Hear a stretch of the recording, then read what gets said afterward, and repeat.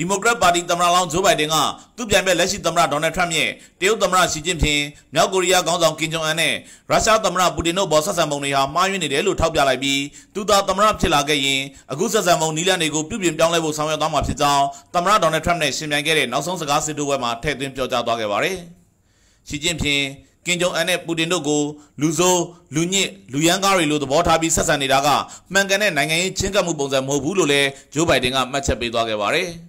ဒေါ်နယ်ထရမ့်မှာအမေရိကန်ရဲ့မဟာမိတ်တွေအားလုံးကိုဖျက်ဆီးနေပြီးမိတ်ဆွေမမွေးပဲရန်သူမွေးနေတယ်လို့လည်းဂျိုးဘိုင်ဒန်ကဆိုသွားခဲ့ပါတယ်။ဂျိုးဘိုင်ဒန်ကတရုတ်မြောက်ကိုရီးယားနဲ့ရုရှားတို့နဲ့ဆက်ဆံတဲ့နေရာမှာနိုင်ငံတကာဥပဒေတွေကိုအဓိကလက်ကင်ပြုပြီးဥပဒေလမ်းကြောင်းအတိုင်းရှောက်လန်းတာကသာအကောင်းဆုံးဖြစ်တယ်လို့ပြောကြားသွားခဲ့ပါတယ်။ ဒါကြောင့်ရွေးကောက်ပွဲမှာဂျိုးဘိုင်ဒန်သာအနိုင်ရပြီးအမေရိကန်ပြည်ထောင်စုရဲ့သမ္မတအသစ်ဖြစ်လာခဲ့ရင်အမေရိကန်ရဲ့နိုင်ငံခြားရေးမူဝါဒတွေဟာအပြောင်းအလဲပြန်ဖြစ်သွားလိမ့်မယ်လို့နိုင်ငံတကာအရေးသုံးသပ်သူတွေကမှတ်ချက်ပေးသွားခဲ့ပါတယ်။ဂျိုးဘိုင်ဒန်နဲ့ဒီမိုကရက်ပါတီဟာတရုတ်နဲ့ကောင်းမွန်တဲ့ဆက်ဆံရေးတရက်ပြန်လည်ထူထောင်မှုအစီအစဉ်ရှိနေပုံရကြောင်းမဲဆွယ်ကာလမှာသူ့ပြောစကားတွေကသက်သေထူနေပါတယ်။ထရမ့်ဟာအမေရိကန်ရဲ့မိဖက်တွေကိုလက်ညှိုးထိုးအပြစ်တင်ရင်းနိုင်ငံတကာဆက်ဆံရေးမှာအမေရိကန်ကိုတနိုင်ငံနဲ့ယက်တီရတဲ့သဘောမျိုးဖြစ်လာအောင်လုပ်နေတယ်လို့ဂျိုးဘိုင်ဒန်ကပြောသွားခဲ့ပါတယ်။ အမေရိကန်ပြည်ထောင်စုမှာလာရောက်အခြေစိုက်နေတဲ့နိုင်ငံရေးခြားကုမ္ပဏီတွေကိုထရန့်အစိုးရဆက်ဆံနေပုံကနီးလန်းမကျတဲ့အတွက်လည်းမလိုလားအပ်တဲ့ပြဿနာအောင်များစွာဖြစ်ပေါ်ရရရှိနေကြောင်းဂျိုးဘိုင်ဒန်ကထောက်ပြသွားခဲ့ပါတယ်။တောင်တရုတ်ပင်လယ်အရေး